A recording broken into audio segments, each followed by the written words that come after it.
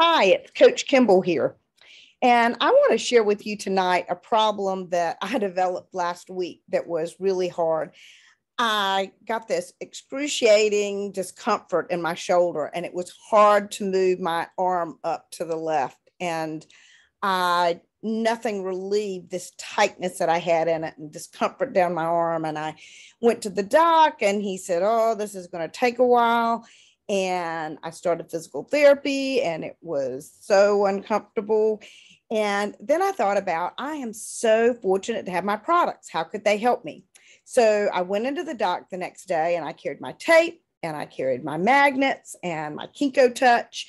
And they worked with me with those and taped me up and using the magnets.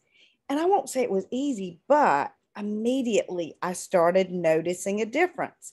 And so now, one week later, I am raising my arm up all the way.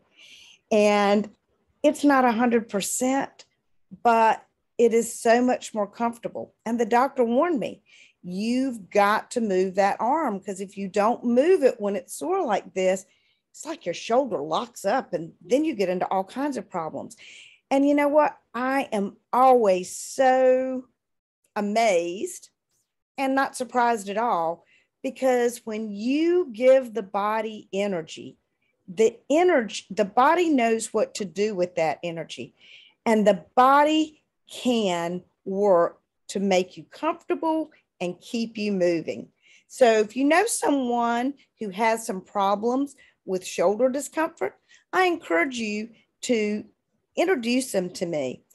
I would love to send them some information because my purpose is helping people learn to live more comfortable, more energetic, more joyful lives naturally. It's Kimball Sargent, your self care coach.